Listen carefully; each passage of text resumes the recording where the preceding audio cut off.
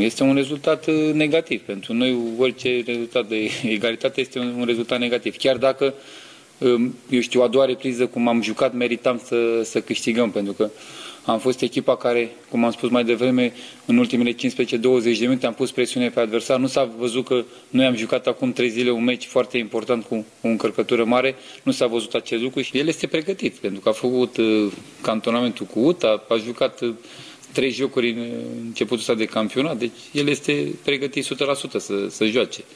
Este important ca el să priceapă cât mai repede ceea ce îmi doresc de la, de la el și cum îl știu, l-am avut la echipa națională de tineret în Spania, îl cunosc cât de cât uh, bine, știu ceea ce, ce poate, este un jucător inteligent, o echipă care dorește să, să câștige campionatul după primele trei etape să nu reușește să, să câștige, nu este ok.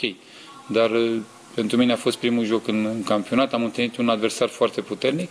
Când am văzut că nici nu mai dădea decizia să te încercam să mă uit și eu să văd dacă văd ceva, nu puteam, am înțeles că nici nu ai voie să te uiți. Da, na. Este, este greu. Pentru un antrenor este foarte greu, da. Vor mai veni jucători? Eu sper să vină, da.